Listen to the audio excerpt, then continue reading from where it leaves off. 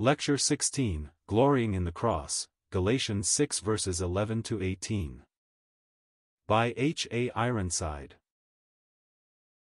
Ye see how large a letter I have written unto you with mine own hand. As many as desire to make a fair show in the flesh, they constrain you to be circumcised, only lest they should suffer persecution for the cross of Christ.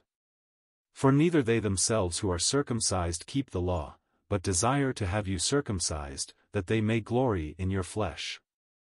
But God forbid that I should glory, save in the cross of our Lord Jesus Christ, by whom the world is crucified unto me, and I unto the world.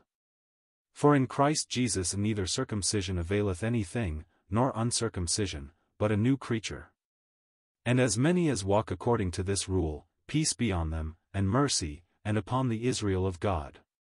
From henceforth let no man trouble me, for I bear in my body the marks of the Lord Jesus. Brethren, the grace of our Lord Jesus Christ be with your spirit. Amen. Verses 11 to 18. There is something about verse 11 that I think lets us right into the heart of the Apostle Paul. He was some distance away from Galatia when word came to him that Judaizing teachers had come in among the different assemblies, and were teaching the believers that unless they were circumcised and kept the law they could not be saved. He saw that this meant to step down from the truth of grace altogether. The believer does not obey in order to be saved, but because he is saved. He delights to glorify the one who has redeemed him, and his obedience springs from a heart filled with gratitude to that one who gave his life for him. He does not try to make himself fit or to keep himself fit for heaven. The apostle was so much disturbed by what he heard that he sat right down and penned this letter. It glows with the white heat of his burning zeal for the gospel of God. As we have already remarked, it was not a usual thing for men to write their own letters in those days. Letter writing was a distinct occupation, as it is still in the different cities of the East, and if a man had a good deal to do he would engage one of these professional letter writers just as here and now a man who has much correspondence engages a stenographer. He would not attempt to handle it all himself. And so ordinarily the apostle dictated his letters to various persons. They wrote them out, and he signed them and sent them on. But in this case apparently he had no amanuensis close at hand, and he was so stirred in his spirit that he felt he could not lose a moment in getting a letter off, and so sat right down and wrote it himself. He refers to this in verse 11, Ye see how large a letter I have written unto you with mine own hand. It is not really a large letter. Compared with the epistle to the Romans this is a very short one. It is not more than one-third the length of 1 Corinthians, and only about one-half the length of 2 Corinthians. Compared with other writings in the New Testament it is brief indeed, but we get help here if we consult a more critical translation. It should read, You see with what large characters I have written unto you with mine own hand. And that indicates not only that he was not used to letter writing, but we gather besides that he had some kind of affliction with his eyes, and was not able to see well. You remember the time he was on trial in Jerusalem, and the high priest commanded him to be smitten on the mouth, and indignantly he shouted out, God shall smite thee, thou whited wall. Acts 23 verse 3, and somebody said, Do you speak evil of God's high priest? At once he apologized and said, I did not know that he was the high priest. He ought to have known, for there Ananias stood, doubtless in his priestly robes, but if Paul were at the other end of the room with poor eyesight he might not have recognized the man. And then there are other scripture passages that give similar suggestions. He had already said in this letter, I bear you record, that, if it had been possible, ye would have plucked out your own eyes, and have given them to me, Galatians 4 verse 15. They would not have wanted to do that unless his sight were poor. So I take it that possibly this was the affliction which he had to endure for many years, and therefore when he sat down to write he was like a half-blind person writing in big sprawling letters. And realizing that he was not sending a neat manuscript such as an amanuensis would have prepared, he apologized for it by saying, You see with what large characters I have written unto you with mine own hand. I think that manuscript with its large letters ought to have touched the hearts of those Galatians, and should have made them realize how truly he loved them, how concerned he was about them, that he could not wait to write them in the ordinary way, but must send off this epistle as quickly as it could be produced. Then he concludes with these words, As many as desire to make a fair show in the flesh, they constrain you to be circumcised. If it could have been possible to keep the Christians within the fold of Judaism and make of them one more Jewish sect, they would have been saved from a great deal of persecution they had to suffer. And so the Apostle says, These emissaries from Jerusalem going about among you have not your good at heart, but they want to make a fair show in the flesh, they want to show a great many adherents to what they teach, but do not take the place of separation to the name of the Lord Jesus Christ. I could go with them and make a fair show in the flesh, too, and would not have to suffer persecution for the cross of Christ. That cross was not only the place where the Lord Jesus suffered for our sins but is the symbol of separation. It told out the world's hatred of the Son of God, and Paul had identified himself with the one whom the world spurned, and therefore he gloried in that cross. When people take legal ground and tell you that salvation is by human effort, they themselves never live up to their own profession. You may have heard some say, I do not think people have to be saved by the blood of the Lord Jesus Christ, I think if everybody does the best they can, that is all that can be expected. Did you ever see a man who did the best he could do? Have you always done the best you knew? You know you have failed over and over again, even in those things that you knew to be right, things you did not do that you should have done, and things you did that you knew you should not have done. Therefore, to talk about being saved by doing the best you can is absurd. No man has ever done his best, except, of course, our holy, spotless Savior, the Lord Jesus Christ. Somebody says, it is gospel enough for me to follow the Sermon on the Mount. That is saying a good deal. Did you ever see a man who did that, or have you done it? Test yourself by it. Read Matthew 5, 7, and just test yourself honestly, check yourself, and see how far you fall short of the precious precepts of this wonderful address given by the Lord Jesus Christ. There is no question but that you and I ought to live up to it. It indicates the type of life that should characterize every believer. But if you have not lived up to the Sermon on the Mount, either as a matter of attaining or maintaining salvation, at once you put yourself out of court. You have not lived it out, and I am afraid you never will, and therefore you can be very thankful indeed that God is saving poor sinners by grace. Someone else says, I believe if we keep the law God gave at Sinai, it is holy, just, and good, the Apostle himself tells us, it is all that God or man could require of us. So far as actual living is concerned, I suppose it is, but again I put the question, have you kept it? Do you know of anyone who has ever kept it? Let us keep in mind the words, Whosoever shall keep the whole law, and yet offend in one point, he is guilty of all. James 2 verse 10 so on this ground there is no hope for any of us. If we fail, some say, God has provided the sacraments. But those who talk in that way are never certain that they are keeping the sacraments correctly. How do you know that you are keeping them perfectly? You may fail in purity of purpose as you take the Lord's Supper or in baptism. Even they who count on being saved through self-effort do not keep the law perfectly. We all fail, and therefore we need to recognize the fact that salvation is only through the free, matchless grace of God.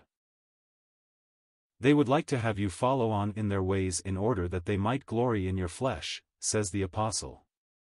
Men like to get a following, they like to have people join with them in any particular stand they take. It ministers to the pride of the natural heart to be able to head up a large group. In opposition to all this human effort Paul sets the cross of our blessed Saviour, but God forbid that I should glory, save in the cross of our Lord Jesus Christ, by whom the world is crucified unto me, and I unto the world. When he said these words he was not thinking just of the wooden instrument on which Jesus died, and he certainly was not thinking of a cross on a steeple of a church, or on an altar of a church, nor yet of a cross dangling from a chain at the waist or throat, or worn as an ornament.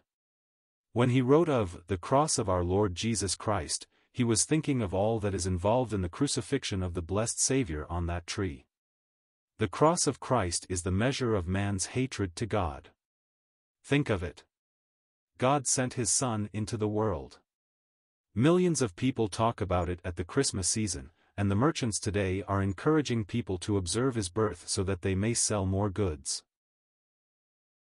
You will find that even a Jewish merchant will wish you a Merry Christmas if you purchase something from him.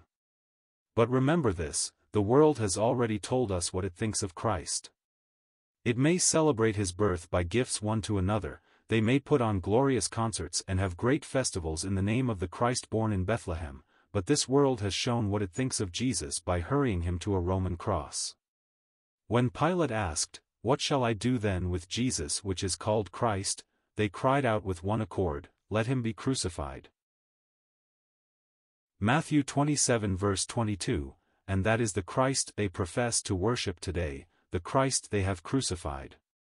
They will even celebrate Christmas in the taverns of our cities, celebrate the birth of Christ by drinking and carousing on Christmas Eve and Christmas Day, and they will call that keeping the birth of Jesus. But the Christ of Bethlehem is the Christ of the cross, and the world has given its sentence concerning him. They said, We will not have this man to reign over us. Well, the apostle says, I glory in siding with the man whom the world rejected. When he says, God forbid that I should glory, save in the cross of our Lord Jesus Christ, it is just another way of saying, my boast, my joy, my delight is in the one whom the world has crucified. Then the cross of Christ was the place where God has told out his love in utmost fullness. Herein is love, not that we loved God, but that he loved us, and sent his Son to be the propitiation for our sins, 1 John 4 verse 10. When man did his worst, God did his best. When man said, Away with him, crucify him. God accepted him as the substitute for sinners, and the judgment that our sins deserved fell on him. God made his soul an offering for our sin. And so when Paul says, I glory in the cross of our Lord Jesus, he means, I glory in the love that gave Jesus to die for me, a sinner. But he has shown that Christ's death is my death and I am to take my place with him, recognizing his death as mine. In 2.20 we read, I am crucified with Christ, nevertheless I live, yet not I, but Christ liveth in me, and the life which I now live in the flesh I live by the faith of the Son of God, who loved me, and gave himself for me. When Paul says, I glory in the cross of Christ, he means this then, I accept the cross of Christ as my cross, I accept his death as my death, I take my place with him as one who has died to the world, to sin, and to self, and henceforth I am not under law but under grace. Law crucified my Saviour. He met its claims upon that cross, and now, having satisfied all its demands, I am delivered from its authority and am free to walk before God in grace, seeking to glorify Him in a life of happy obedience because I love the one who died there to put away my sin. All this, and much more, is involved in the expression, God forbid that I should glory, save in the cross of our Lord Jesus Christ, by whom, he says, the world is crucified unto me, and I unto the world. Christian, have you taken that stand? Do you realize that Christ's cross means absolute separation from the world that rejected him? That is what we confess in our baptism, that is what Christian baptism means. I have heard of many a believer who pondered a long time before taking the step of being buried in baptism because he was afraid he would not be able to live out what was set forth in this beautiful ordinance, and, of course, apart from Christ we could not. But what is involved? A recognition that I have died with him, that I have been buried with him, and that this is an end of me as a man after the flesh. Therefore, I have been raised with Christ to walk in newness of life. I remember some brethren who were talking about a Christian's relationship to oath-bound secret societies. This book tells me concerning the Lord Jesus that he said, In secret have I said nothing, John 18 verse 20, therefore I know that he never was inside of an oath-bound secret order, and he has called upon me to be a follower of him. One of these brethren said to the other, You belong to such and such an order. Oh, no, he said, I do not. Why, you do, I was there the night you were initiated, and once a member of that you are a member until death. Exactly, I quite admit what you say, but I buried the lodge member in Lake Ontario. He meant that in his baptism the old order came to an end. I have heard of a dear young woman once a thorough worldling, but at last she was brought to a saving knowledge of the Lord Jesus. Her friends came on her birthday one evening to give her a surprise party and wanted to take her with them to a place of ungodly worldly amusement. She said, It is good of you to think of me, but I could not go with you, I never go to those places. Nonsense, they said, you have often gone with us. But, she said, I have buried the girl that used to go to those places. Not I, but Christ liveth in me. Christian baptism should speak of separation from the world that crucified the Lord Jesus Christ.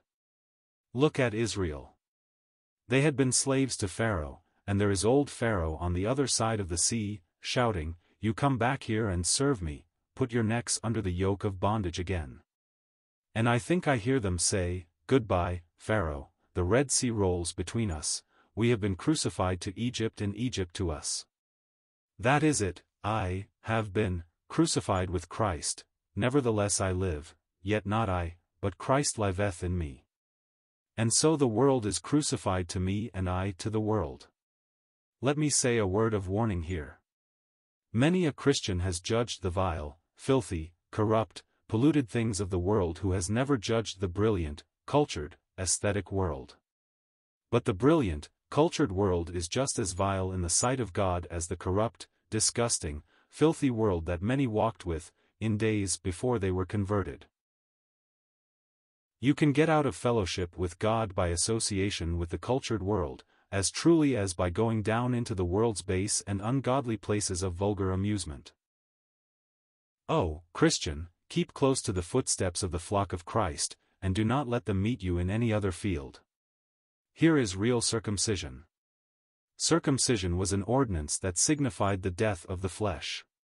For in Christ Jesus neither circumcision availeth anything, nor uncircumcision, but a new creature, or, literally, a new creation. And that is the whole thing. You and I through the cross have passed out of the old creation, if saved, and are now in the new creation of which Christ is the glorified head. See to it that in your associations, in your pleasure, in your amusement, in your religious life, you keep in that sphere where Christ is owned as head and Lord.